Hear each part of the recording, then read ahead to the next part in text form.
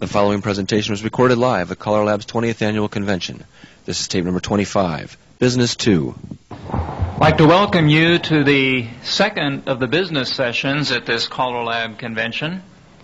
At this particular session, we are going to speak to the subjects of insurance programs as currently available through CALLERLAB. We will also discuss the utilization of home computers or PCs for record keeping purposes for your square dance calling business.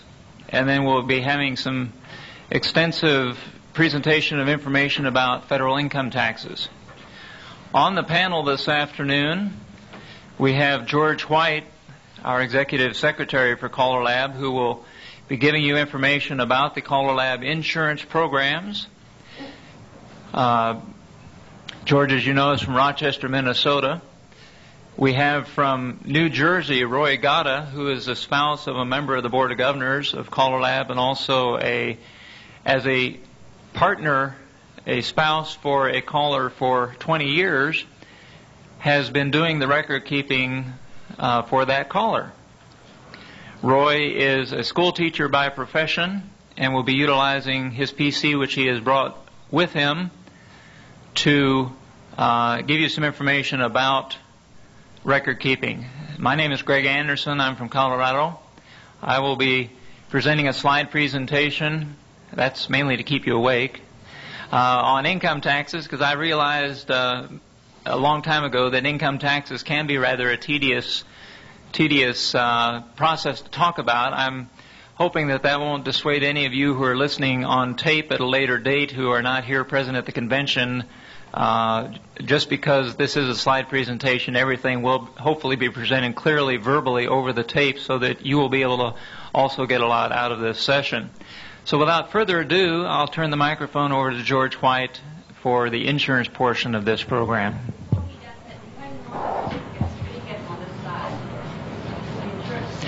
The, the question was asked, do we have any more of the insurance certificates? Those will be available later if uh, some of the, the, the brochures on the insurance certificates I put on the back table, and if they are not available right now, we will be able to get them later. There are some, I, there are some of those available I just saw. George?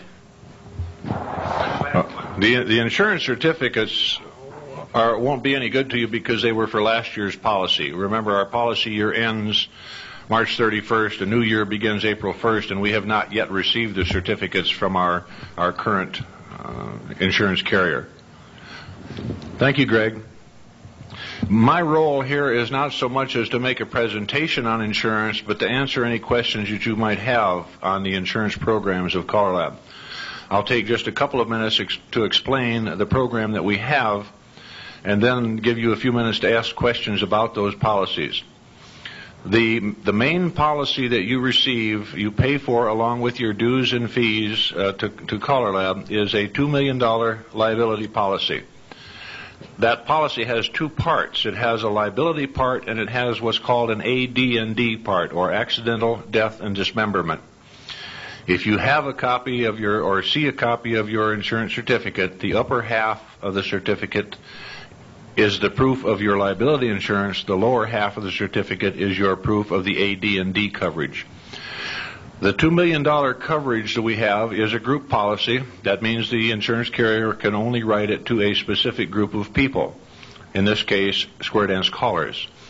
The $2 million limit says that each and every caller that is a member of CALLERLAB and lives in, in the United States has $2 million worth of liability insurance. Technically, every caller could have a judgment of $2 million against them, and the insurance company would back that up. Contrast that to other group policies you may have heard of, which are advertised as $2 million aggregate policy. That means the group has $2 million of coverage. If two callers should each get a million dollar claim settled against them, the, the, the institution no longer has any insurance because they've used their $2 million. So that's what to look for when you look at, at group insurance. Liability insurance is, is what the aggregate is. We have a $2 million aggregate per person. Some organizations have a $2 million aggregate for the association. Basically, a liability policy covers you should you be sued for some action you take or some action you forget to take. If a dancer is hurt on your dance floor, he or she is not automatically covered by your insurance. Technically, you must be sued by that person before our insurance company would pay out anything. We have had cases where a person has been hurt. They did not sue the caller, but they did file a claim with the insurance company, and the insurance company settled it. That is because the insurance company may see that there is some liability there and it heads off a suit further on down the line. If they can settle for, for medical expenses today, it's better than going to court with a $2 million suit six months from now or six years from now. You should not admit liability if something like that should happen on your floor. You should not even let that person know that you have liability insurance. You should give that person the phone number of your insurance company and let them take it up with your insurance company. That's very important. It is, it is detrimental to you and to our organization should you announce at a weekend or a festival that you have liability insurance because they will seek any way they can find to get part of that from you if they can. A lot of accidents, you did not make someone step on their corner's foot. Nothing that you called said, step on your partner's foot or step on your corner's foot.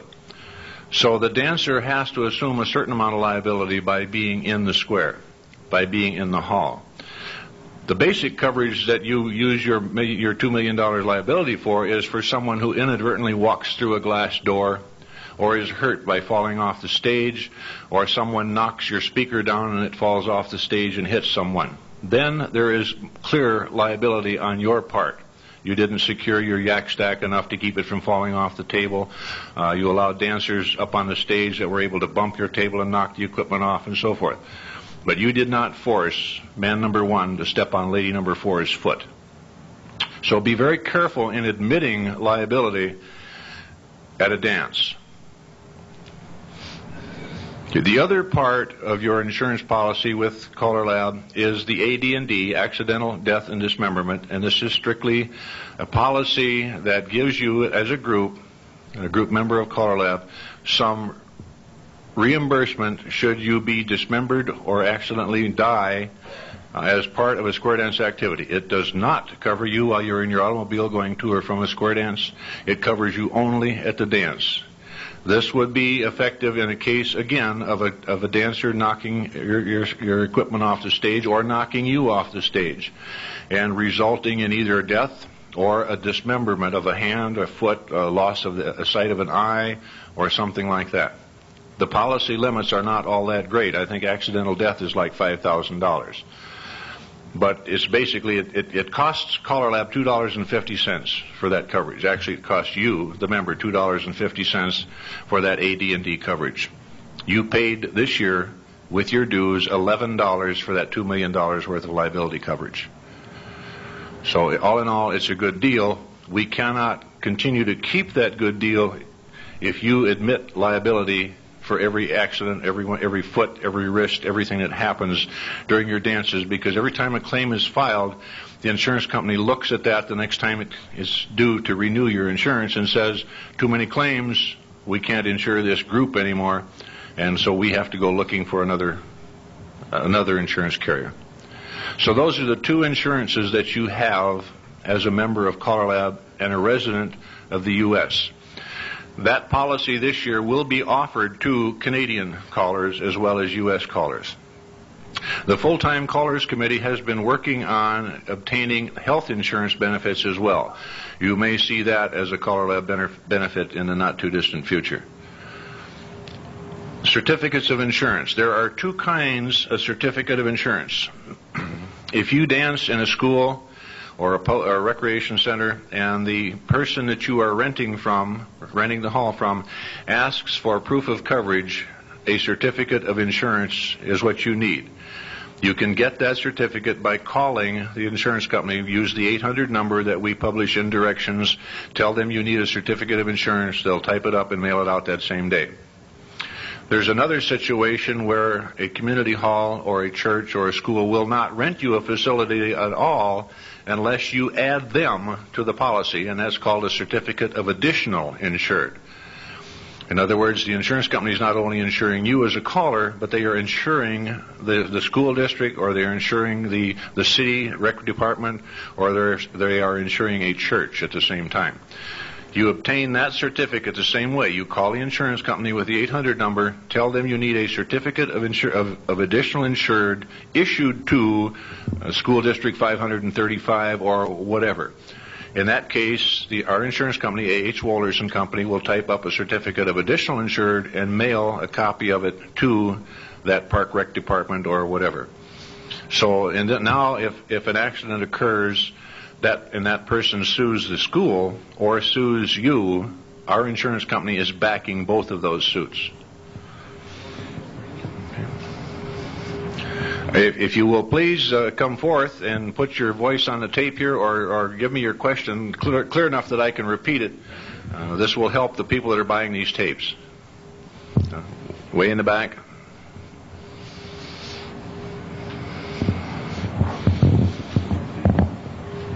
Just a point. Oh, okay. Just a point to clear up. Um, when you speak of a hall, if there's a a warped floor or a, you know, in a parquet floor where there's a part of it that's loose and a dancer falls on that, are you liable or is the hall liable? Usually, in that case, the hall is liable.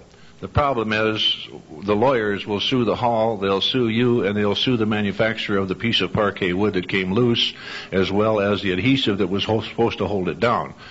So no one is safe in a suit such as that. It just gets spread uh, as, as far as the suee can sue.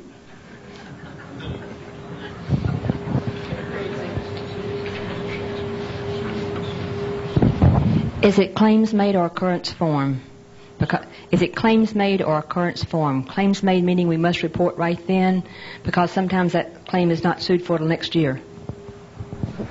Claims are, are made through the same 800 number uh, to A.H. Wohlers and Company, not through the CALLERLAB office. You'd call the insurance company to file a claim. What if, what's the claim? that year, right then. Don't you have a claim? The, the question was, does the caller need to make a report immediately? What if the suit does not actually occur until a year after the event or six months after the event? It's well in any case, whether you think a suit will be filed or not, for the caller to call that 800 number, the Wohlers Company, and make a report of what happened. The problem with suits is that usually you don't find out about it until a year later, and by then people have forgotten what's happened. So it would be correct for the caller at that point in time to call the insurance company and say, we had an incident at our square dance last night, and give them whatever information they ask for at that time. The uh, policy states that it doesn't apply to uh, outside the area where the caller is calling. What's the definition of outside the area? The, the question, uh, he says the policy states that for the AD&D that the policy is not in effect outside the area of square dancing. The definition of that means if you're out in the parking lot, the coverage is no longer available. You are outside the area where the square dancing takes place. So basically, it is the hall in which you dance. For $2.50, it's a very limited policy. Now we, we, we may be adding to that. We have another company looking at our AD&D coverage that is making a proposal to increase that coverage to cover us in, in a lot broader sense than the than the policy we have now for the same cost. Does that apply also to the dancers uh, in the hall only, or to and from the car, the parking lot, should they slip on the ice? The, the question was, does the policy cover a dancer in the hall, or do, would that cover a, a, dancer that slips and falls on the ice in the parking lot? We're talking about two different policies here now. The first time we were talking about AD&D. Now we are talking about liability in the case of a person slipping in the parking lot, and that should still be reported by you, and that should that still would be a case where that person might sue. And you might be named in it even though you had nothing to do with the maintenance of that sidewalk because you rented the facility for that night. You have to, uh, you have to watch out for things like that as best you can. If you do your job of, of of at least paying notice to it and telling them when they leave the hall, watch out, there are slippery spots. You've done all you can do. You've done, you've made a fair share or fair effort to warn the people of that situation.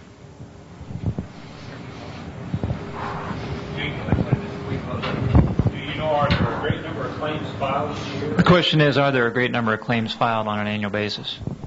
There were eight claims filed last year. Uh, now, from 3,500 people over a year's period of time, that is not a large number of claims. There was, of those eight claims, there was only one suit. The rest were settled, either settled out or, or it was proven that the, the, the, there was no need to go to court because the person was not liable. The caller was not liable in that situation. Our Callers Association uh, sponsors dances as a part of the Callers Association and uh, we, in that case, carry a liability policy. Is there any thought by Caller Lab to add associations to the uh, uh, to the insurance policy for liability purposes? We added that coverage last year. Um, when you, as a Caller Lab member and your association, have a bake sale or have a have a um, a square dance or something that you sponsor, your insurance covers you, but the association is still uncovered at that point in time. If someone were to sue the officers of the association because of neglect of something or sue the association itself, our policy, as we are talking about so far today, does not cover that. Last year, Caller Lab made arrangements with our insurance carrier, A.H. Wohlers and Company, that for a fee of $25, any Callers Association who was who was already an affiliate of Caller Lab, in other words, you paid your $60 dues to Caller Lab and became an affiliate member, then for 25 additional dollars, you could have a $2 million policy which covered the officers of the association and the association itself in, in a case of something like that happening. Thank you, George. I think that offers an awful lot of information and certainly gives an update of what kinds of insurance packages options are available through Caller Lab. Uh, if you get additional questions, please hold them till the end of the, the program and then we'll try to address them as time permits. At this point, I'd like to turn the microphone over to Roy Gotta and uh, we'll uh, delve into the area of bookkeeping. Okay, and just to preface this, this is by no means the definitive way to keep records. It's just some people have seen the way I do it and decided it was worth a presentation and might be something different than what you're doing. The computer stuff I'm going to show you, just so that you know, is I'm not a computer programmer. Oh, two o'clock. My chime just went off. I, I'm not a computer programmer. I, I, I know nothing about that end of it. I buy software that is easy for me to understand, hopefully with as little reading as possible. Uh, occasionally, I actually do read a manual, but I prefer not to. And uh, and I buy what I need. So I, it's not like I'm some sort of computer wizard. I don't do it for a living. Okay, I teach algebra. So yeah, I know some people are going, "Oh no." So um, yeah, we may as well get started. And uh, oh, I got to turn this on, don't I? Oh, we don't want that.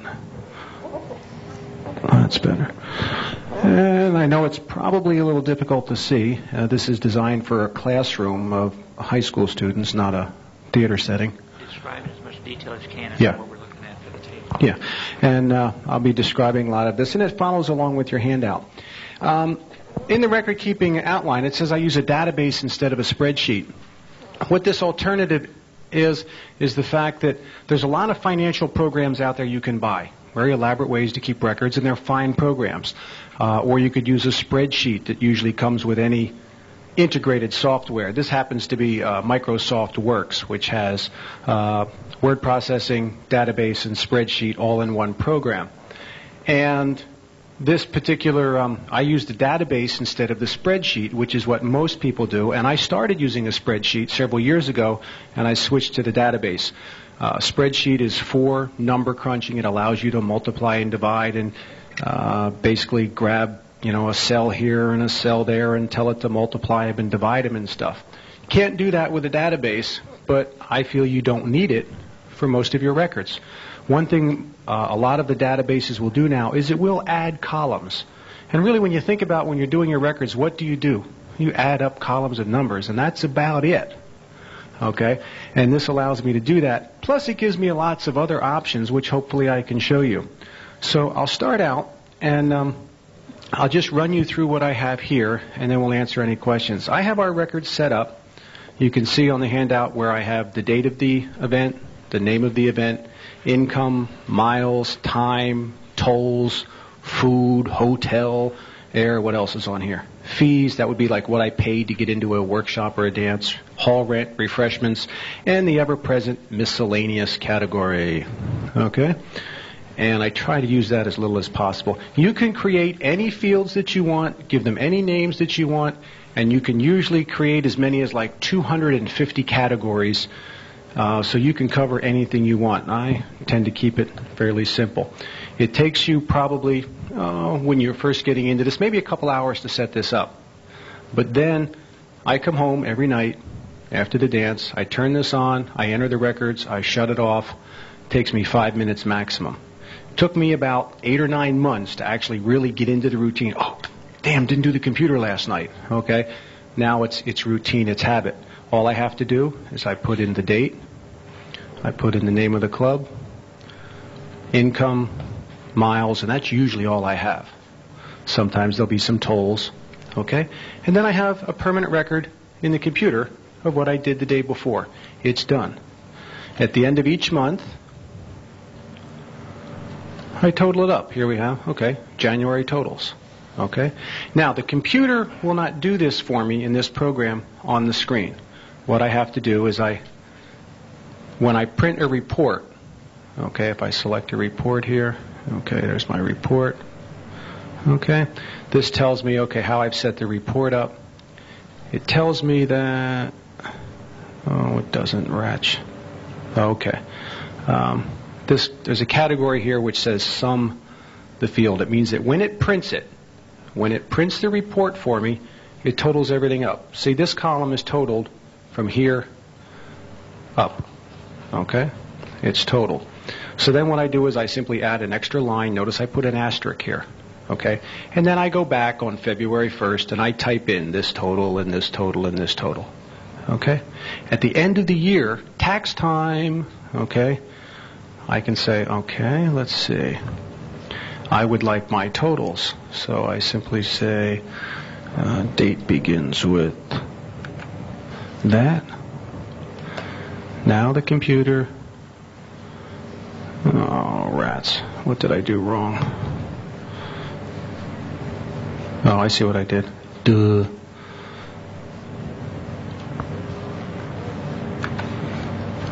Sorry, I had something in there I forgot I had. Bingo. There's each monthly total. Okay? And then when I print the report, okay, if you look on the third page of your handout, you should see the the screen that's in front of you, that's up on here, but notice the printed thing has a total at the bottom. Okay?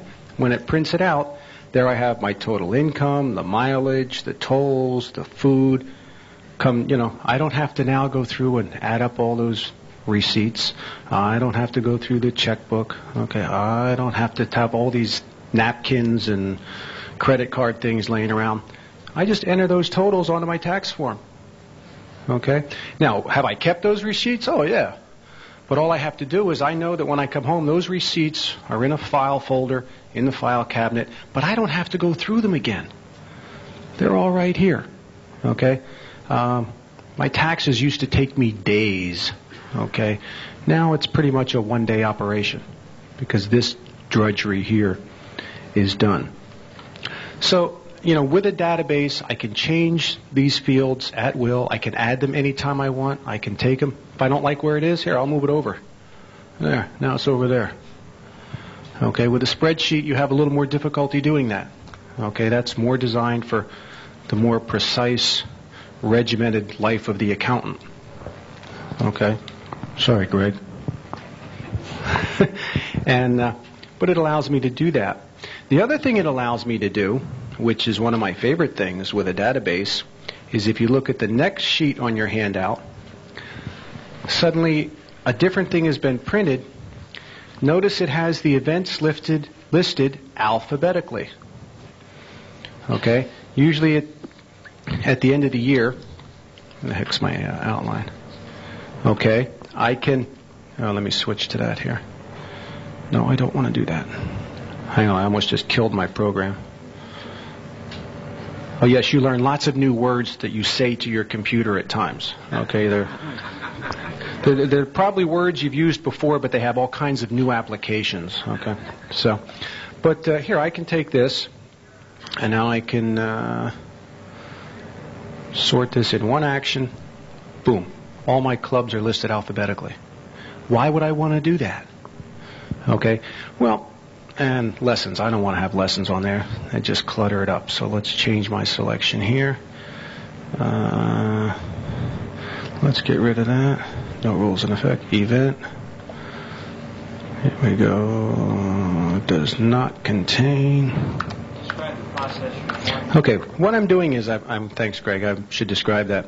I decided I want the computer only to give me certain records. I don't want them to show me like my lessons because I know what I charged myself to to do those. I don't want it to show me my regular clubs for this printout that I'm going to ask it to do.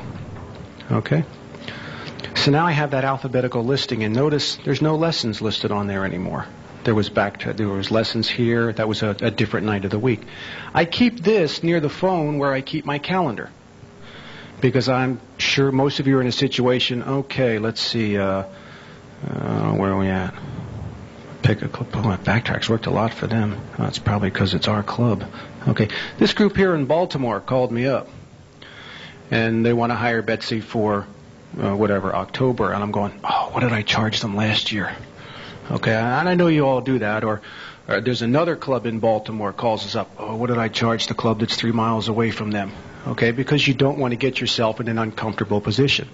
I have it all listed right here. Not only the club's name, what I charged them, the day of the date, other assorted information. One thing I've added, this is last year's um, information. What I've added this year is I've added the state, the location of where these clubs are. So that I can group, okay, New York State, I did this, Pennsylvania, we did that.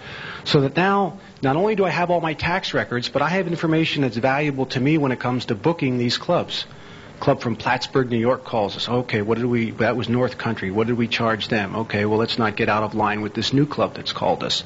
And let's face it, you have to do that um, as far as uh, avoiding uh, conflict not only between you and the clubs, but between clubs in the area.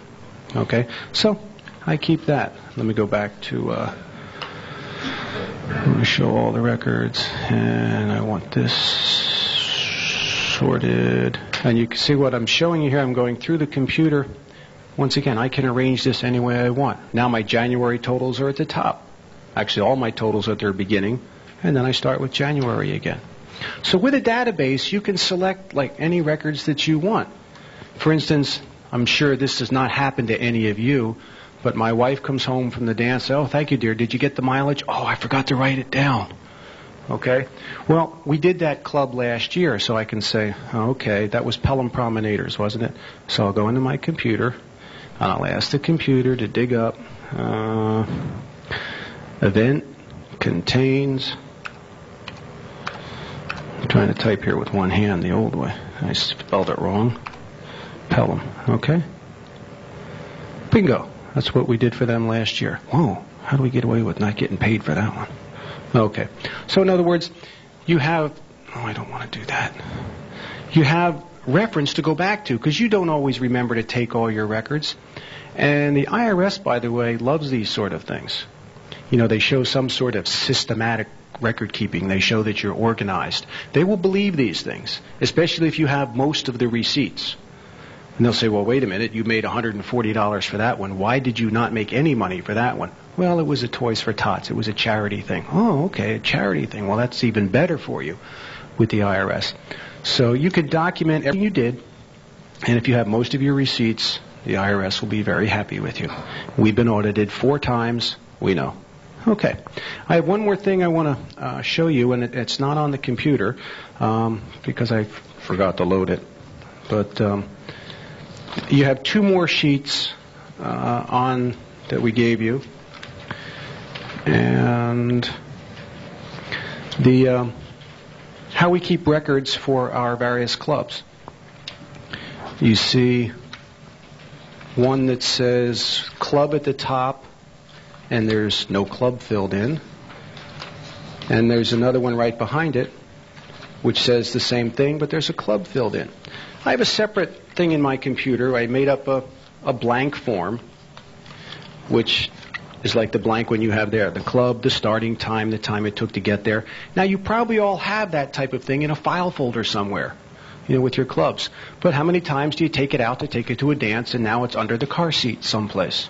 Okay?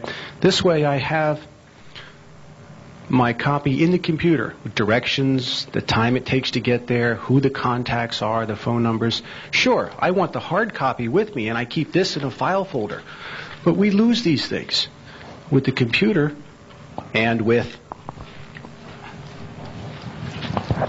backup disks for when your computer fails.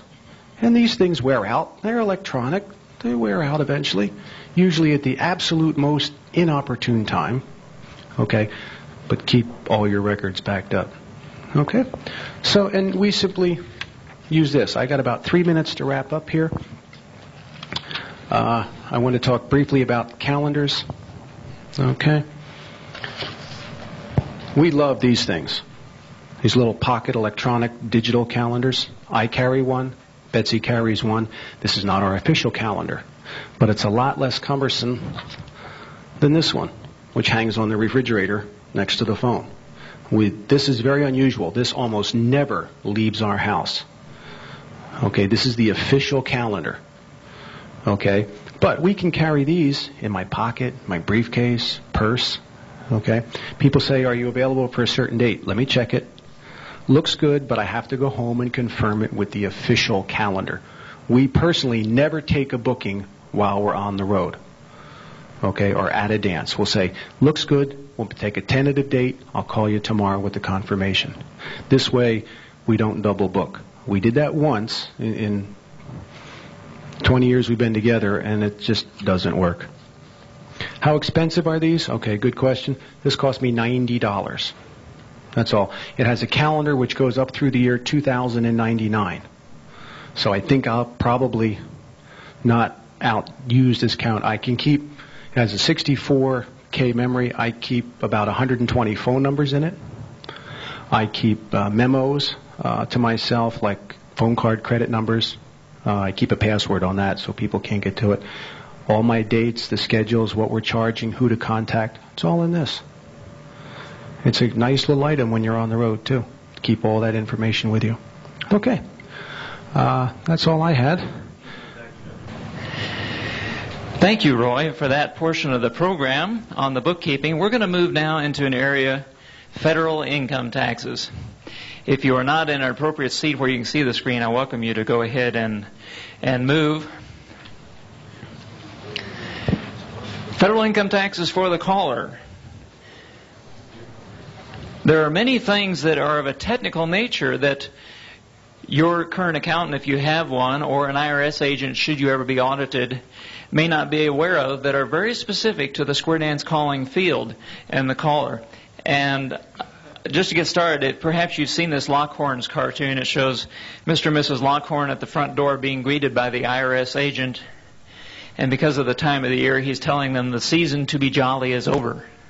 And that's quite true. Sometimes we get all uptight about these things, and but we're here to get you unwound, to get you calmed down, because you're going to be more knowledgeable when you leave here today.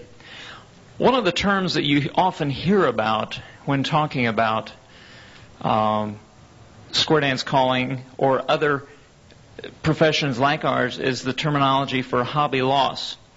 A hobby loss is nothing more than a section of the Internal Revenue Service regulations that says, is what you are doing a hobby or is it a business? If it's a hobby, you may not have a loss deducted on your tax return. It's as simple as that. Hobby, no loss. If it's a business, losses are permitted.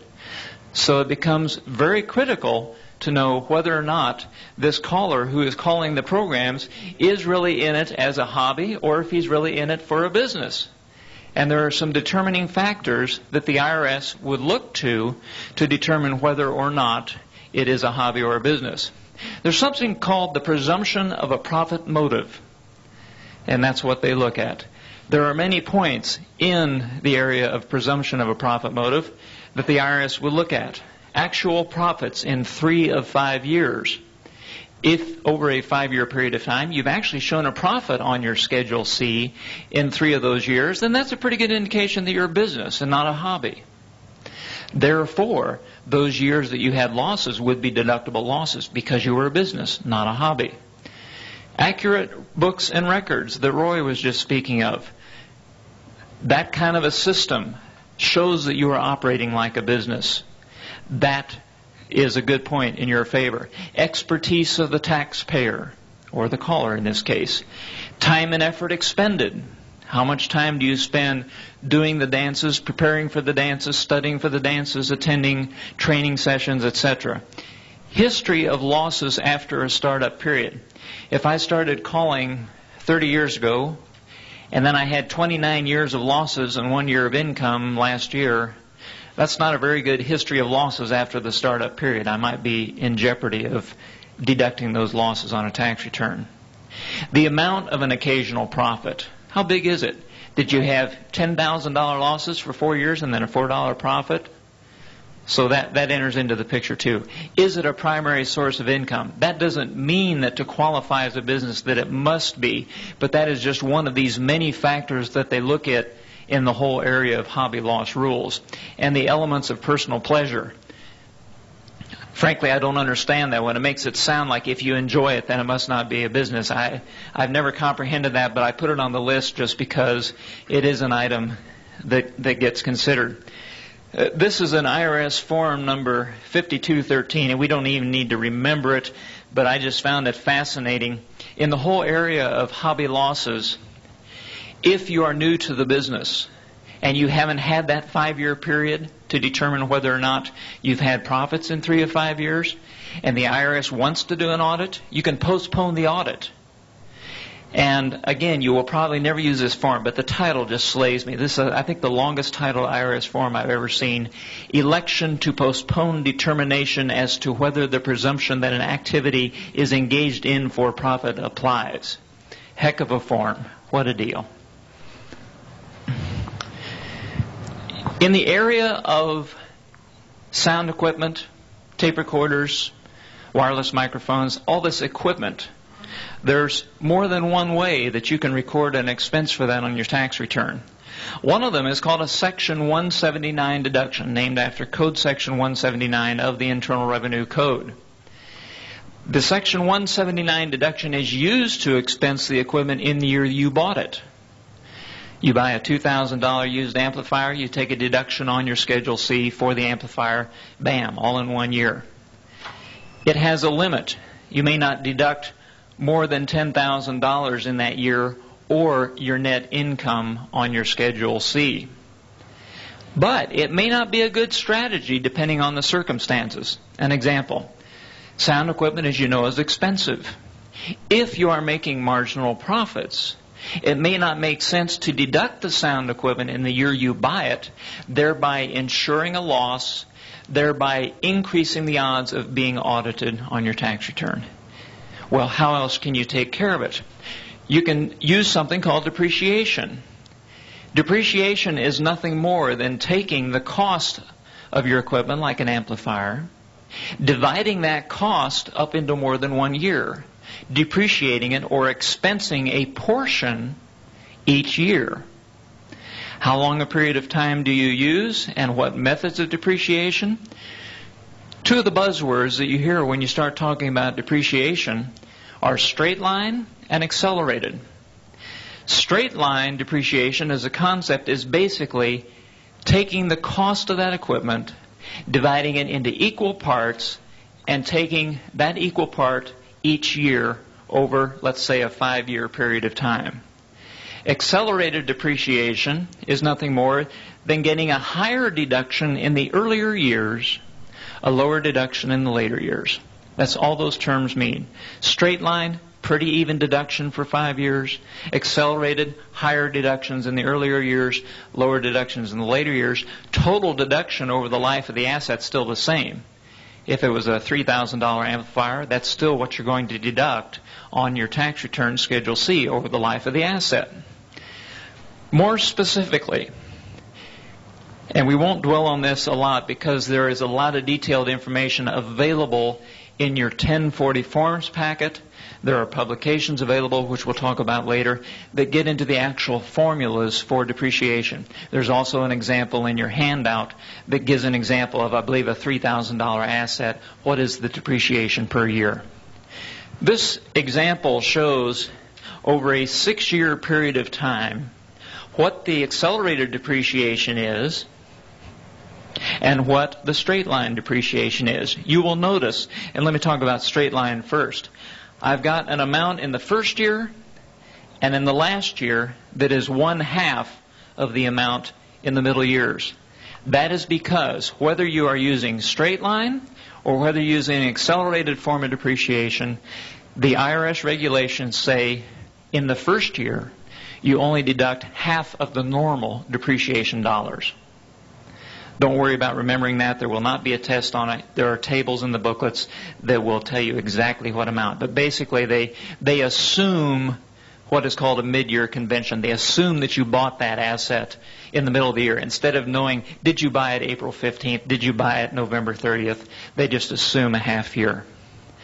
The initials, again, you don't have to remember these, but the accelerated depreciation method currently in use is MACRS, Modified Accelerated Cost Recovery System. But you don't need to remember that. It's in the book. The tables are there.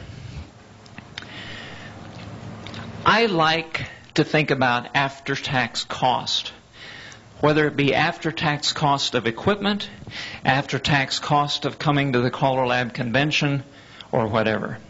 After-tax cost is nothing more than a concept which allows us to rationalize buying all these neat things. but it does have a practical side to it also. If you buy a piece of equipment for whatever the amount of money is, and you either expense it under Section 179 or you take depreciation over a few years period of time, that piece of equipment didn't cost you $3,000. You saved some income taxes, did you not? In your Schedule C as a business. The income taxes you save when subtracted from the cost gives you what I call, or what is commonly referred to as the after tax cost. Okay, let's say you got a $3,000 asset. And for simplicity's sake, let's say that one third of all your income, one third of all your expenses you're in about the 33% counting federal and state income taxes. So for simplicity's sake, one third saving in taxes. $3,000 asset, you do not have to pay $1,000 in taxes because you deducted that as a business expense. So it cost you $2,000, not $3,000 in this very simplified example. That's all we mean by after-tax cost. It's a way to actually have the government, which is ultimately us, but it's a way to have the government subsidize trips, education, equipment, etc. Computers, and this goes back to what Roy was doing on record keeping. You are permitted to depreciate the business portion of a computer that's used for the business. You must keep a log of the business use versus the personal use. Obviously, it's convenient to keep the log right on the computer. In the database, if you have a database, would be an excellent way to do it. I personally do not take a deduction for use of a home computer. I've got a teenage son who is a computer guru. He knows much more about it than I do. He spends countless hours on the computer compared to my few minutes. There is no way I could justify a business deduction. I don't even bother. But if you have a computer that is used significantly for a business, you are permitted to deduct the business portion verified by a log. One caution I would make the use of computers in businesses like this is a new enough phenomenon, even though it's been around for a few years, that there are not a sufficient number of court cases that have tested the different issues involved. The lack of court cases just means we don't know quite as much about the legitimacy and the problems of deducting computer costs as we might otherwise. So that is a cautionary area. Automobile expenses for travel This is a good thing to, to look at, and there are a couple of ways that this can be approached. The easiest by far is what is called the standard mileage deduction. You travel a thousand miles this year, you are allowed a deduction of 28 cents per mile. Times that thousand miles gives you your $280 deduction on the Schedule C for your mileage, for your automobile expenses. You may be told by an accountant that commuting costs are not deductible on the tax return. One of our full-time traveling callers had attended my session a few years ago when I talked about the mileage deduction. He says, well, wait a minute. My accountant says I can't deduct commuting costs. In the area of a self-employed individual, such as a square dance caller, going from your home to the dance is not a commuting cost in the normal sense of the terms. It is deductible. He went back, talked to his accountant. The accountant did not want to, but did amend the tax return. He got a $1,300 tax refund. Please turn the tape over now for the continuation of the program. So sometimes the tax accountants who may be working with you are not sufficiently well versed on the particular nature of the square dance calling business. So that is a consideration too. In order to support your deduction for mileage, Roy showed you the database where he had a column opposite the date that he recorded the mileage. At the end of the year, he knows what the total mileage is times 28 cents. He knows what the deduction is. If you don't have a computer database, a diary in which you record the mileage will be sufficient, but it must be what they call a contemporaneous log, not something that a week before you're going to get audited by the IRS, you go back and fill in a whole bunch of pages as to what mileage you had. There's another way besides the standard mileage deduction.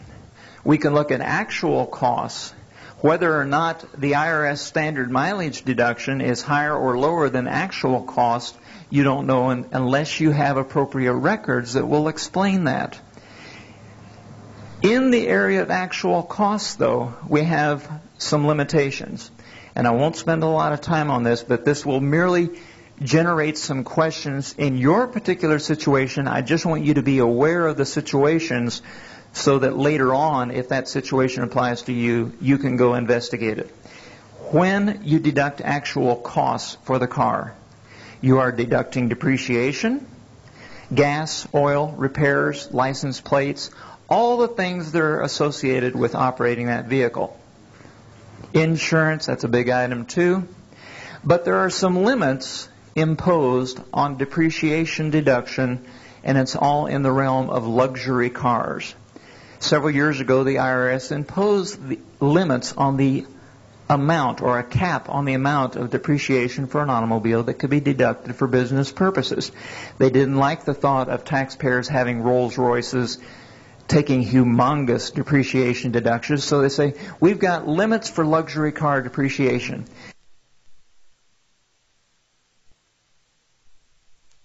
This BMW is a luxury car. I don't think any of us would doubt that. But ah, even in the IRS regulations, this Chevrolet Nova is a luxury car. It is because of its cost. And there is a table in your handout, and again, we don't need to memorize this now, but just be aware, generally in about the area of thirteen, fourteen thousand dollar cost for a vehicle, because of the depreciation limits, that throws it into the category of a luxury car. What happens when you depreciate a luxury car? they say you can only deduct so many dollars the first year, so many dollars the second year, the third year, etc. Instead of having an asset, a vehicle that's going to be depreciated over five years, you've now got a vehicle that's going to be depreciated over seven to eight, nine, ten years, depending on how long you have it. So suffice it to say that there are just limits as to the maximum amount of depreciation that you can deduct in one year. An example of the way to calculate the deduction if you're doing actual costs. We figure out whatever method we use, whether it's straight line or that accelerated method, the amount of depreciation that we're going to take in the year, what our gas and maintenance costs were, tires, supplies, insurance, other items. We get a total for the whole year. We know what our total mileage was for the year because on January 1, we very dutifully wrote down the odometer reading, didn't we? And December 31, we did the same thing. We know the total mileage for the year. So therefore, and we also, in our diary, we know what the business miles is. In this particular example, I've got a very high business use, almost 100%. That percentage times the total cost, that's my business deduction for automobile expense that goes on my Schedule C.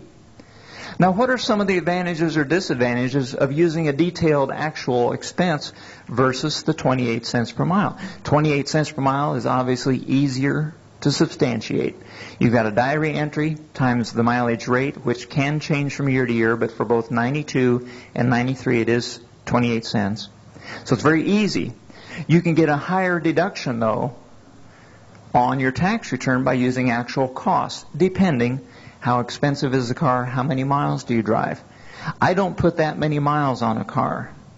I've got a car that I reserve just for square dance calling. So that my usage is quite high. With low miles, high usage, the cents per mile of depreciation gets quite high.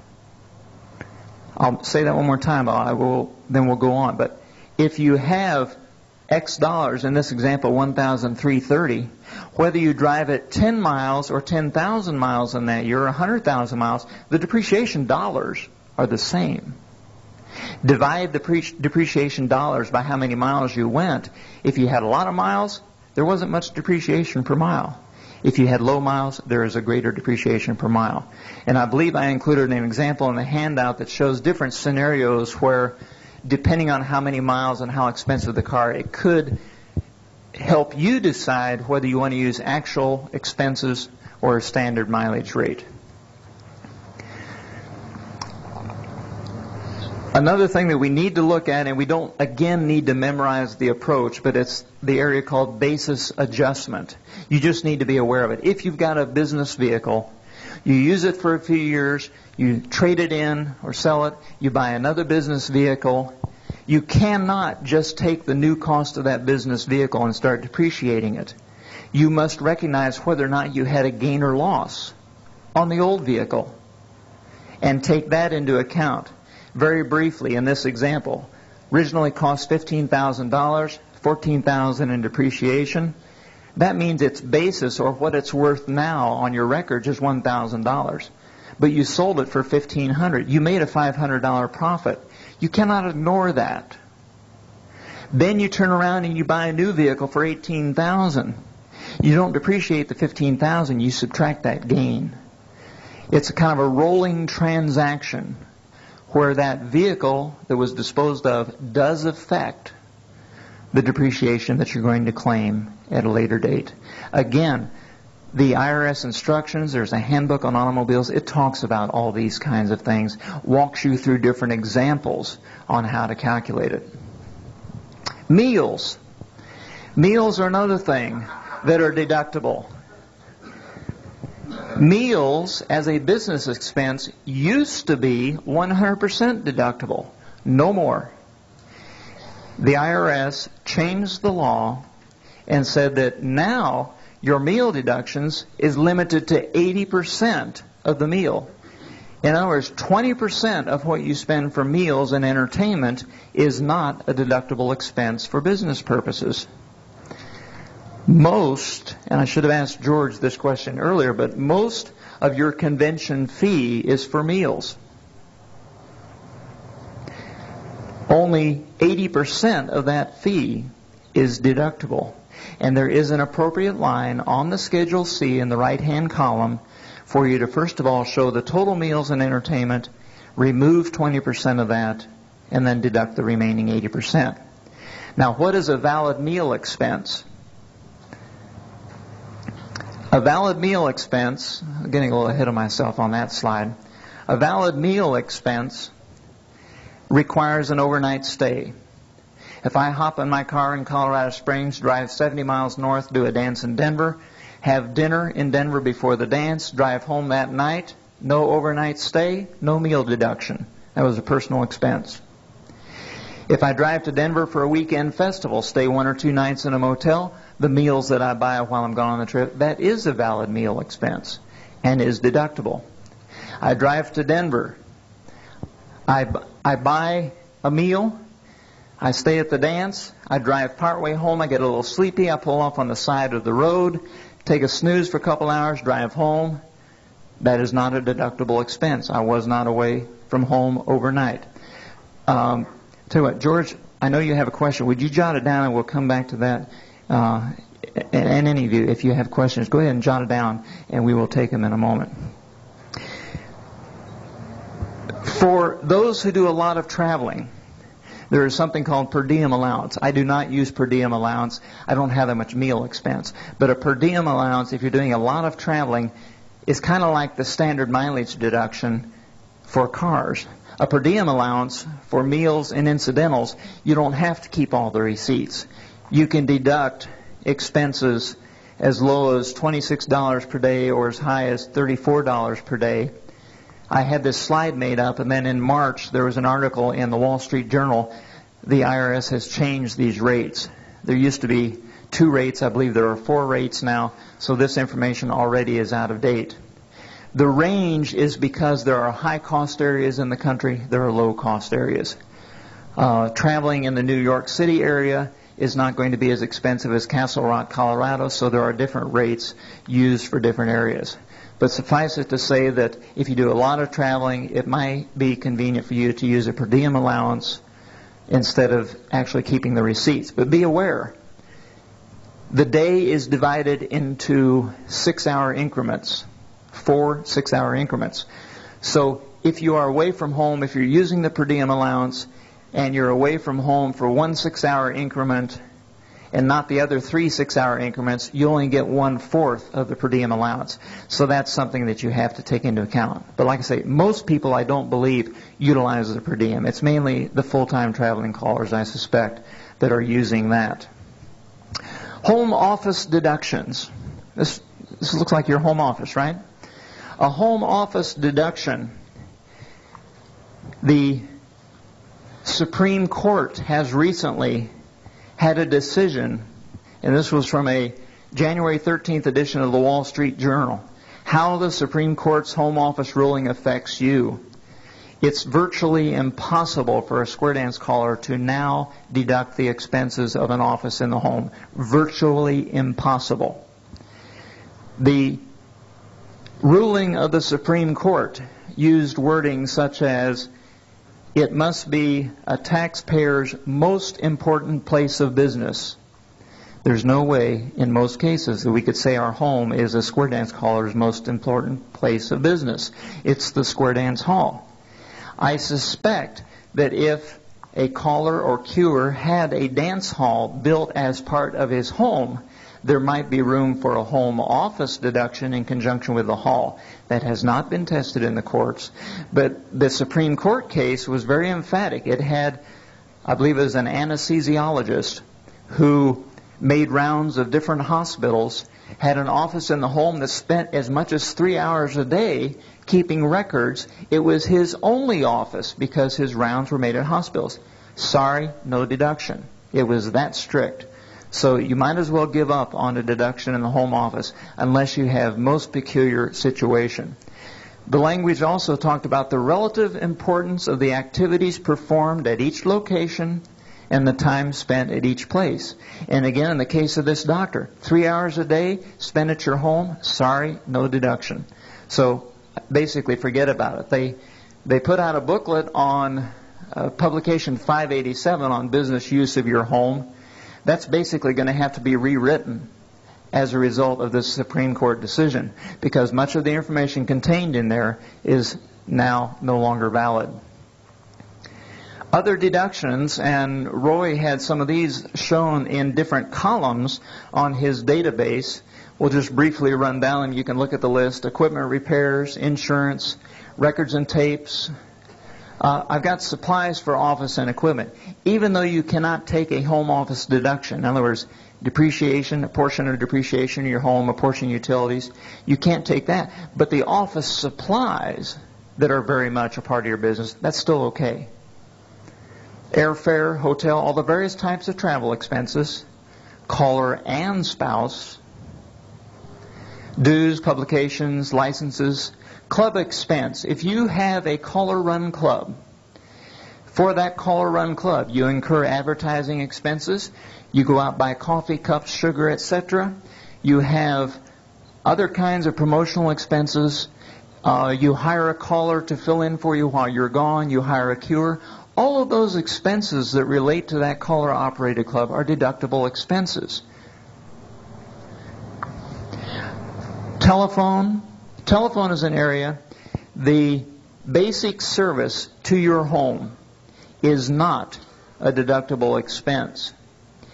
If you had add certain options, you may be able to deduct, those options. For example, if you have a basic line in your home and then add a second line just for business use, you may be able to deduct that line.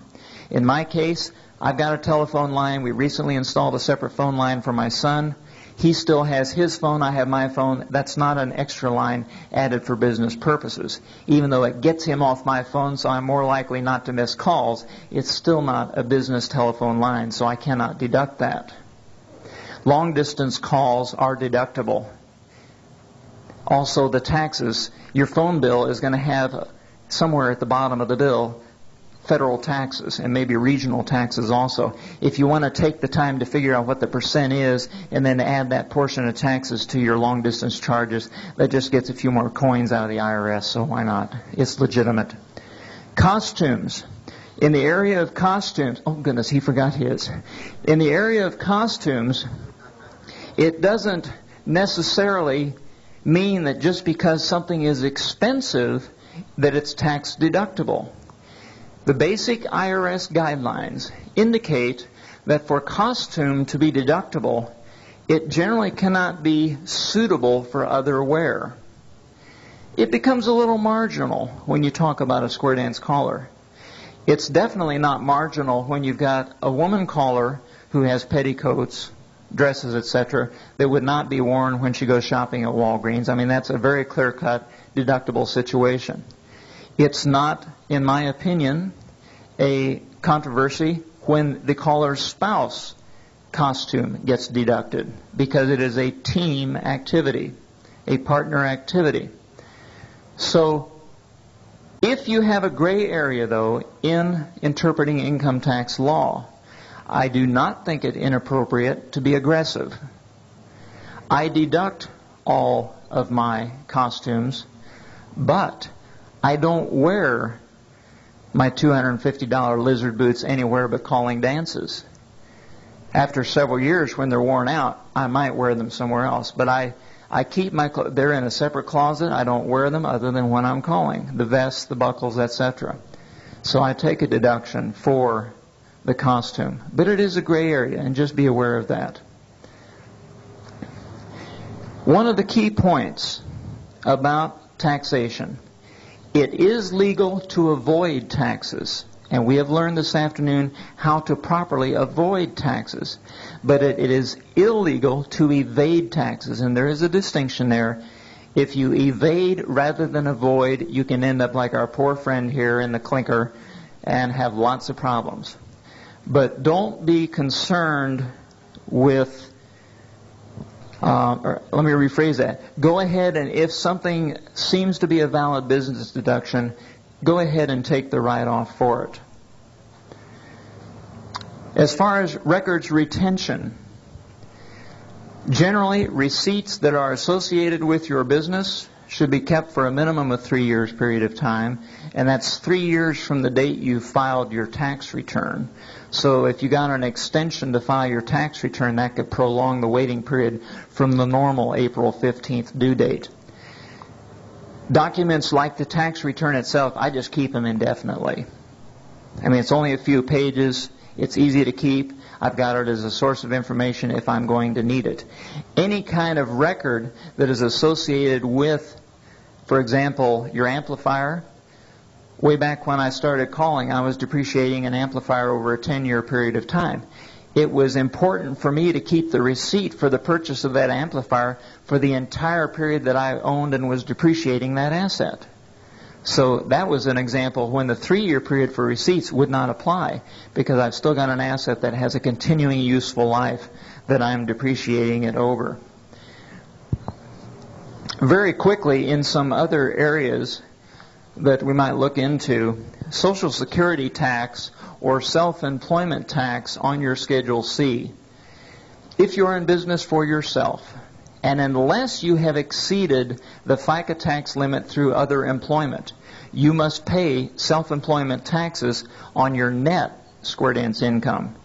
If you had $5,000 of revenue, $4,500 of expenses, you've got a $500 net income, you must pay self-employment tax on that $500 of net income. That tax is calculated on a Schedule SE of the Form 1040. Schedule SE of the Form 1040 is used for self-employment tax. It is very expensive tax, but it is required. I believe it is approximately 15% of your net income. 15.3. It is, I believe, a three-stage formula because they do allow a part of the tax to be deducted in computing the tax itself. But when you consider that you are not only paying income tax, in most cases federal and state, on that $500, but you are also paying self-employment tax on that $500. You're talking about a pretty steep tax rate on your square dance income. And this gets into, this reminds me of an area, you call it ethics, you call it uh, whatever your, your own personal makeup is.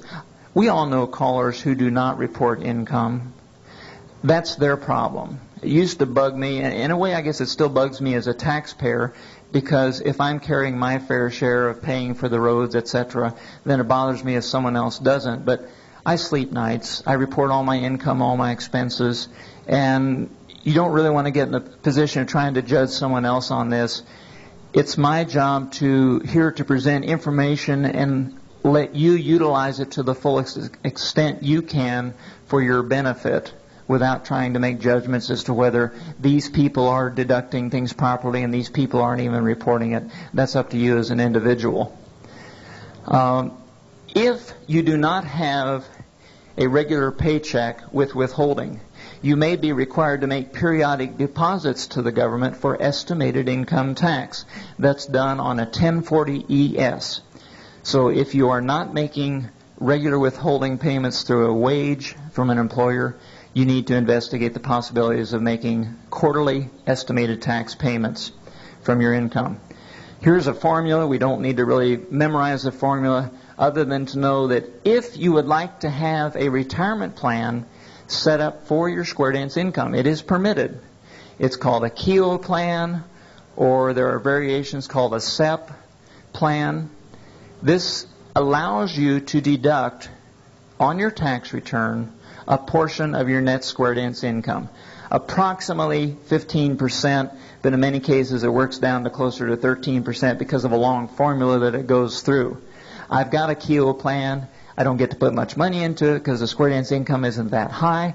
But over enough years, if you plunk away funds, then it builds toward your retirement.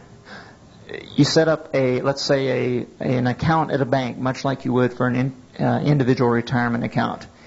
Each year, you calculate your net income from square dance calling. You go through a formula, and the formula is contained in the 1040 handbook. You come up with how many dollars you want to put into that plan.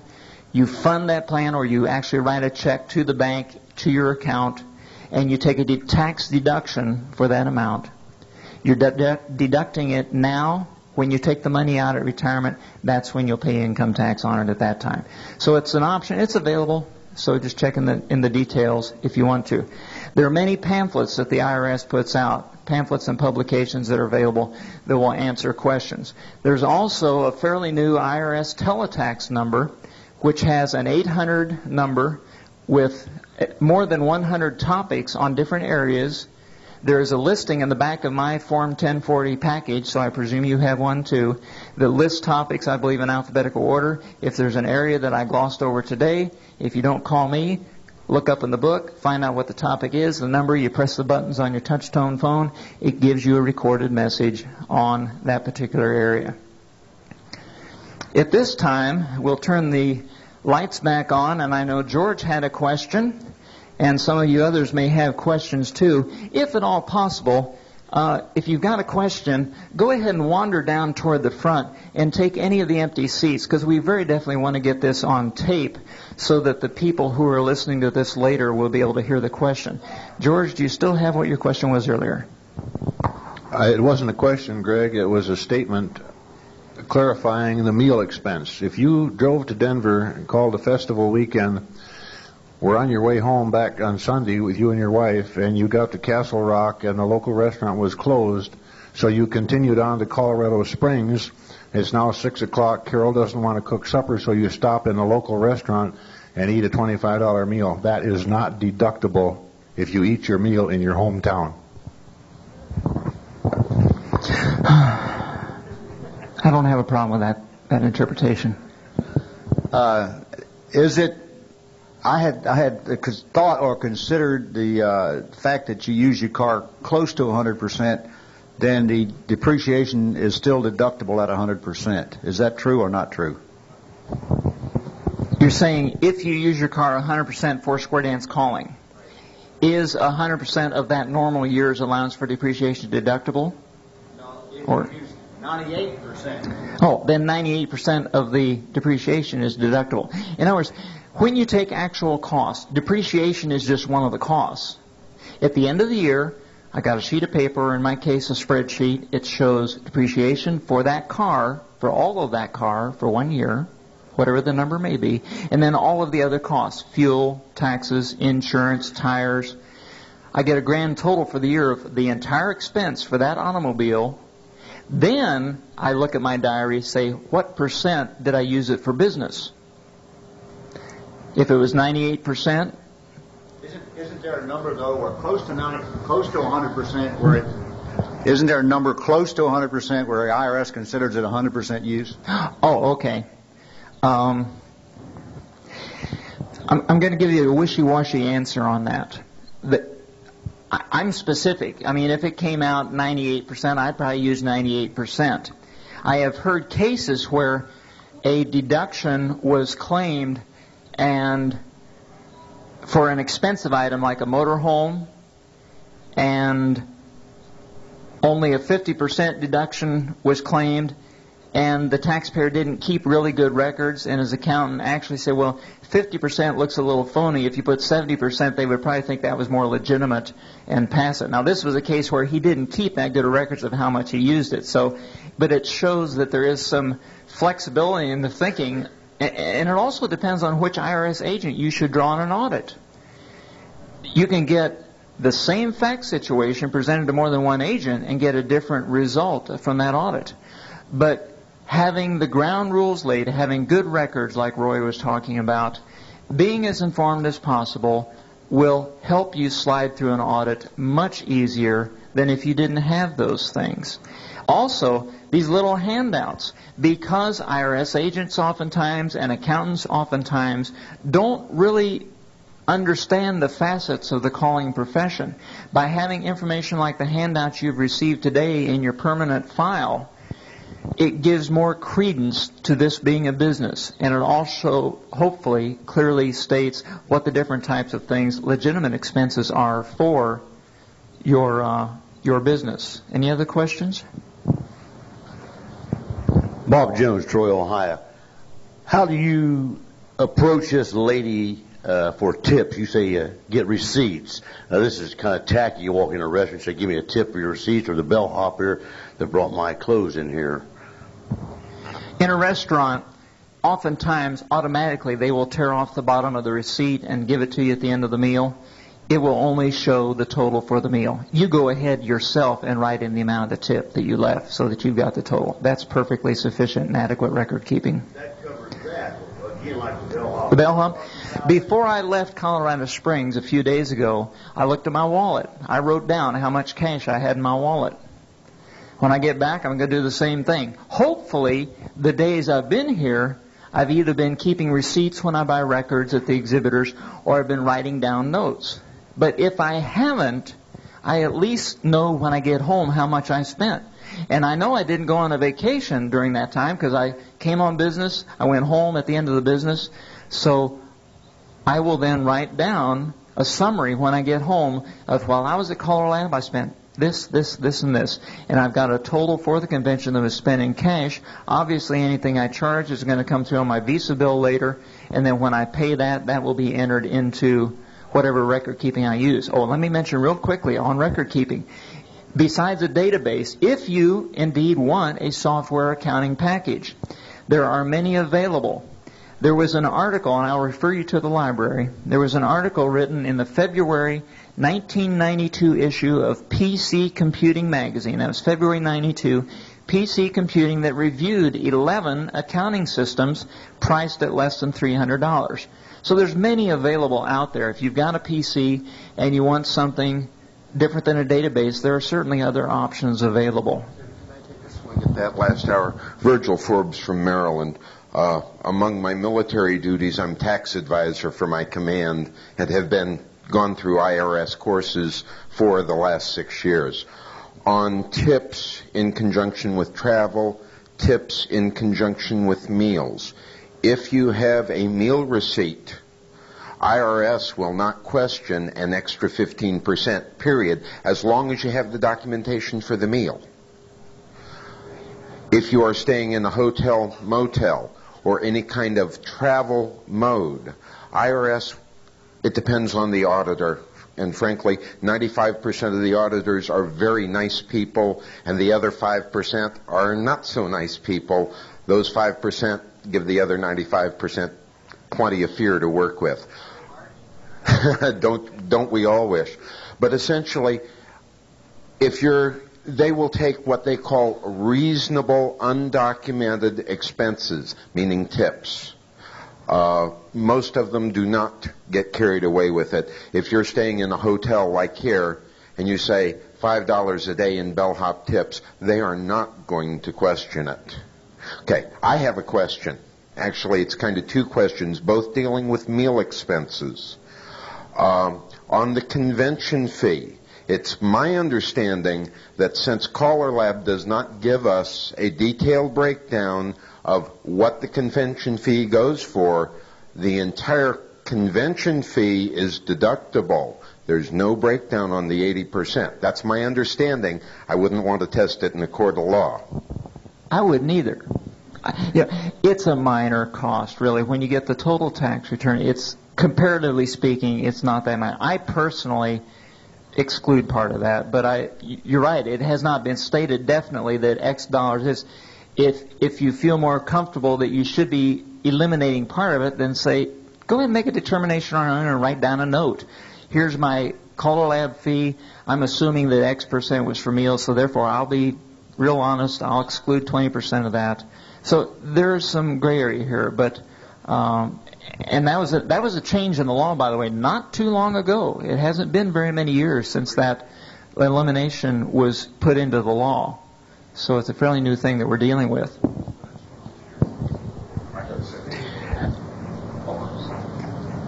In doing a vehicle deduction, uh, obviously I don't want to mess with all the stuff on the car. I want to take the straight 28 cents. How detailed do I have to be in filling out the back of the depreciation form where it asks you all those questions about, uh, you know, the personal use of the vehicles and all of that sort of thing, and then the commuting miles and all that? Do I have to fill in all of that? Just check the blocks? What do I need to do?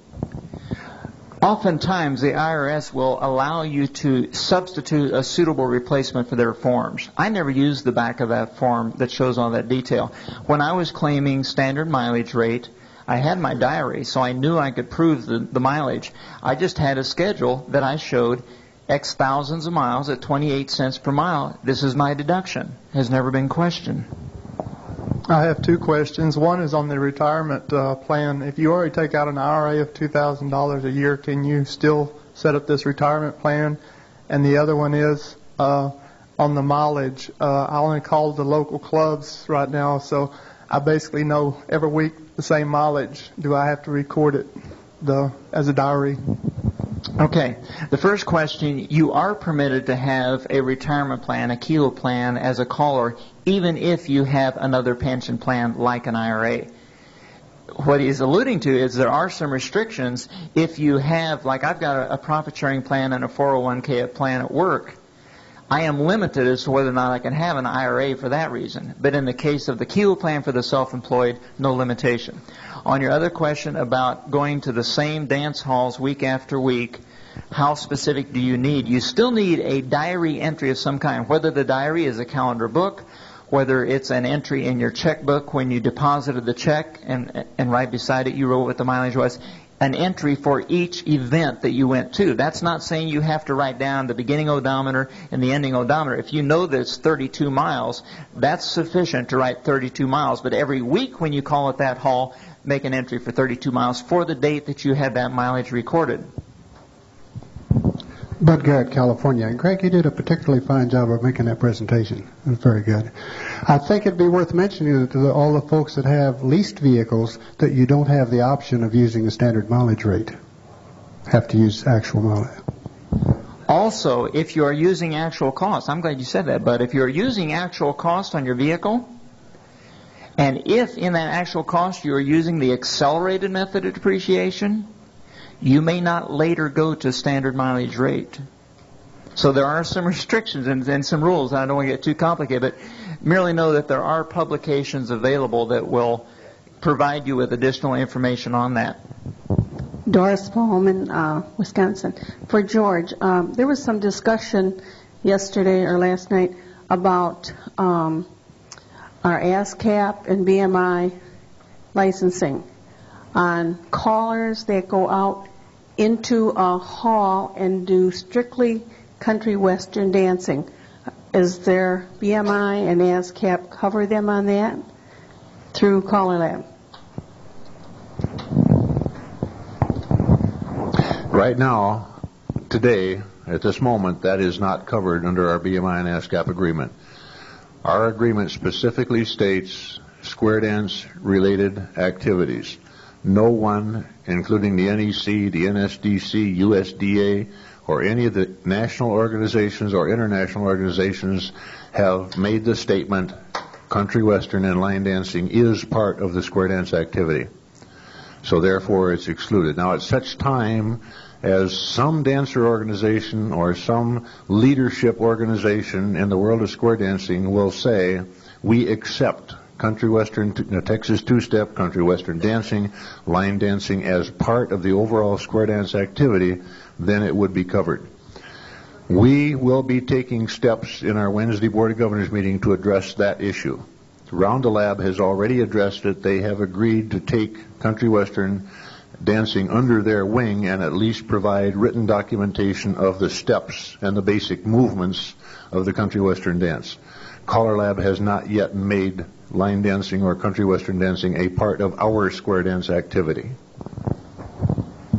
We do still have a couple more questions, but I wanted to share this last cartoon with you before we do. I, I like Shoe, the cartoon with the birds, and I thought this one, if you're worried about paying too much income tax, and it shows him sitting at his roll top desk working on it, get into a good tax shelter and wait till April 15th blows over, and it shows him hiding inside his desk with a roll top down. Yes, we got one question in front. I know we had a question when I was walking around. We had a question about is there a limit as to the maximum miles that you can deduct per year? There used to be. There used to be a restriction that when you got over so many miles per year, you reverted from the 28 cents per mile down to 11 cents per mile. That restriction has been lifted. So the 28 cents per mile applies to all business miles driven during the year.